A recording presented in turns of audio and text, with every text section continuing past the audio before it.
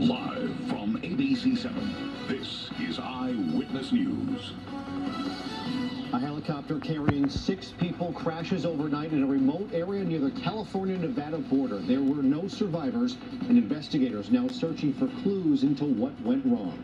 Hello, and thank you for joining us. You're watching Eyewitness News at 4, live on ABC 7, Hulu Live, and wherever you stream. I'm Jory Rand. Michelle's off today. We begin with that helicopter crash, and of the six victims, one has now been identified as the CEO of a major Nigerian bank.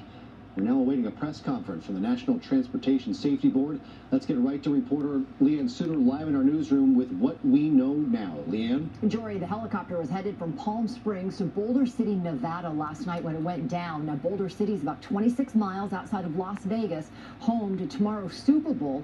It's unknown if that was where the passengers were ultimately headed. We do know that one of the victims, as you said, was the CEO of a major Nigerian bank.